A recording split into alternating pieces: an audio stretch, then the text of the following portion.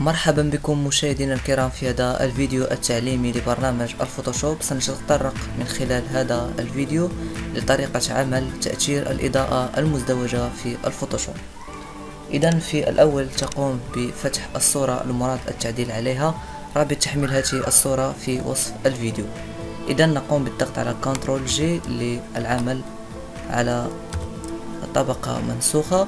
ثم نقوم بتحديد أداة ال crop tool ثم نقوم بالتعديل على القياسات control صفر.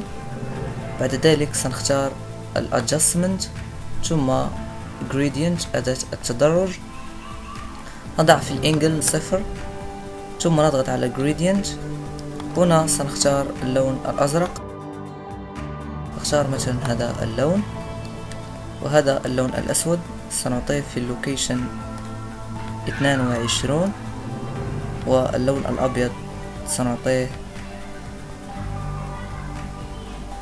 ثمانية وخمسون. وهذه النقطة نقطة الارتكاز سنعطيها سبعون. ثم الضغط على OK بهذا الشكل. بعد ذلك الضغط على control J لنسخ الطبقة نضغط duplicate هكذا. في ال angle ناقص مئة وثمانون. وفي gradient سنضع هذا اللون.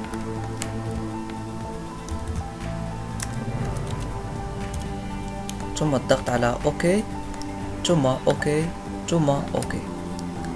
هاتين ال layer سنقوم بتغيير ال blend mode إلى color. أيضا نفس الشيء لهذه الطبقة color. بعد ذلك سنقوم بنسخ الطبقتين. سنقوم بنسخ الطبقة control J ونغير ال blend mode إلى soft light. ونقوم بعمل فقط أربعون في المئة في ال opacity. أيضا نفس الشيء لهذه الطبقة. سنقوم بنسخها عن طريق control J.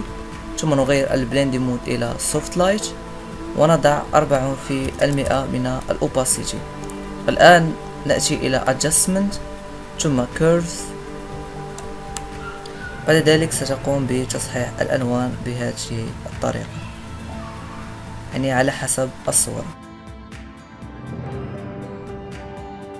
إذا في الأخير تعطينا هذه النتيجة. الآن سنقوم بجمع آه، جميع الطبقات. ثم الضغط على كنترول جي أو الضغط من هنا. بهذا الشكل سنسميه edit مثلا. بعد ذلك لنلاحظ الفرق ولاحظوا معي هذا التأثير الرائع وهو تأثير الإضاءة المزدوجة. إلى اللقاء في فيديو آخر.